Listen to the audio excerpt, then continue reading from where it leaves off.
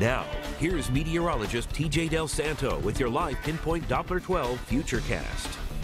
So the rain has returned. It's going to be around this evening. Then we'll have some drier weather, it looks like, for a couple of days, but it's going to remain unsettled for the next seven days. Here's the live pinpoint Doppler 12 radar. We're examining the skies over southern Rhode Island.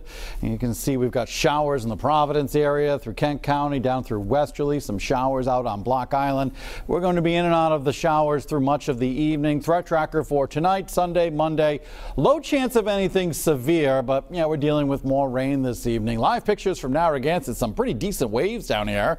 Saw somebody with a jet ski down here actually earlier in the afternoon. Temperature 58 degrees. Relative humidity's high. Wind from the southwest at 6, gusting to 14. In Cumberland, we had a wind gust to 31 miles an hour earlier in the afternoon. It's 59 degrees right now. And in North Kingstown, 57 degrees. They had a gust to 24. You can see in the satellite radar picture, we've got this plume of moisture continuing to come in off of the Atlantic Ocean associated with this big circulation centered back here off to our west. This is going to be more or less stuck for the next few days, and as a result, we're looking at some unsettled weather, and the unsettled weather will likely continue into portion, a portion of next week. Let's take a look at this with our Futurecast. Here we are, 8 o'clock this evening with this plume of moisture continuing to come in off of the Atlantic Ocean. Look at the chance of rain showers about 11, 12 o'clock this evening, and then we are going to be seeing some partial clearing late in the night, 8 o'clock tomorrow morning morning. We'll have some sunshine, but notice during the afternoon there could be a few rain showers out across southeastern Massachusetts.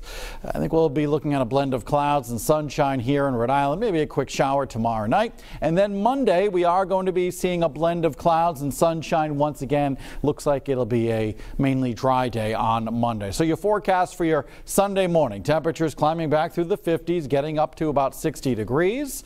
During the uh, midday, let's pinpoint the afternoon along the coastline with the wind off the water, a little bit cooler, drier conditions down here. Northern Rhode Island, low 60s in Providence, Johnston, West Warwick, Cranston, and Warwick. Over in southeastern Mass, again, over here, better chance for some rain showers during the afternoon, upper 50s to lower 60s. Here's the live pinpoint Doppler 12 seven day Futurecast. Tomorrow morning, we've got the Providence Marathon. Kicks off at 7:30 downtown. Temperatures kind of cool, good running weather.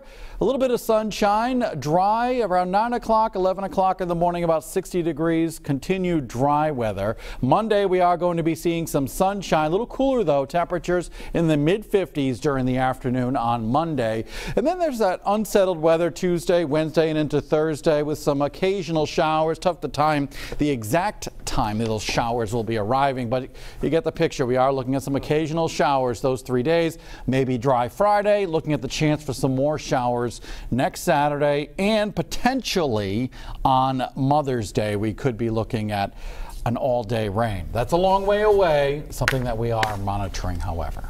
It's just, I'm a bearer of wonderful news tonight. I have no words right now, and we are also time constrained. But we'll talk about it later. Coming up in sports, Eyewitness News at 6. The Red